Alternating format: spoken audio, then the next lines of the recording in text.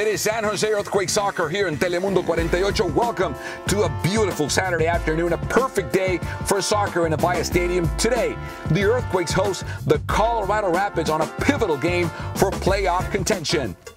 And we have a great turnout today here at Avaya Stadium, a sunny Saturday. Perfect for soccer, and this is Matias Almeyda's starting 11 with Daniel Vega on goal, Nick Lima on the right, Flo Jungwirth and Harold Cummings will be at center backs, Tommy Thompson on the left, Jackson Yueill and Judson will be in the two-man line behind Cristian Espinoza, Magnus Eriksson, and Vako on the left. And of course, up front, the MLS goal king, Chris Wondolowski. We'll see if Lima and Thompson flip sides once the game starts. And this is Colorado Rapids interim coach Connor Casey's starting 11 with Clint Irwin on goal, Keegan Rosenberry, Lalas Abubakar, Tommy Smith, and Sam Vines. Danny Wilson, the sole holding midfielder with Sam Nicholson, Kellyn Acosta, Diego Rubio, Jonathan Lewis, and Kei Kamara up front. And there you see Matias Almeyda, who won the 1996 Olympic silver medal with Argentina losing to Nigeria. And here we go. This is Flo Jungwirth. Nice long ball for Tommy Thompson, who is on the right. Thompson on the box for Espinoza. That's a good ball. The cross, he scores! Chris Wondolowski scores for San Jose. The Earthquakes strike first, strike early. It is 1-0 San Jose. What a start for Matias Almeyda's side. I don't know if Wondolowski put it in or it was an own goal by Abubakar. It doesn't matter. San Jose draws first blood. What a perfect start for a perfect afternoon. It's 1-0.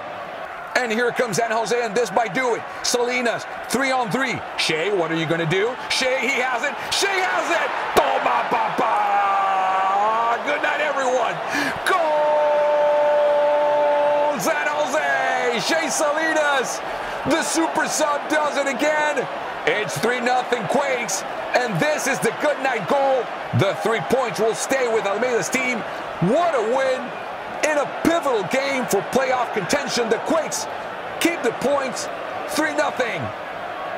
Let's say with the Tritons a bit more. Uh, their men's cross country team debuted at number 18 at the National Coaches Poll, and tomorrow is the 18th annual row for the Cure at Mission Bay. Their men's soccer team beat CSU San Bernardino 1 0 with Jeff Powers scoring the lone goal of the match.